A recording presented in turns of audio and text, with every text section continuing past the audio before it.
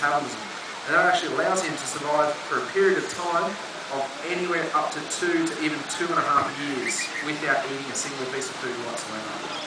Now, as I said, what allows him to do that is that reptiles have a remarkable ability to speed up their metabolism or slow it down.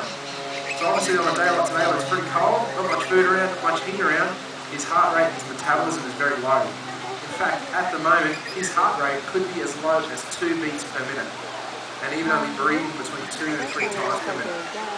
So you can imagine those sorts of rates, he doesn't require any food at all. He's capable of surviving like that for hours, days, weeks, months, or as I said, even up to two and a half years if it really required.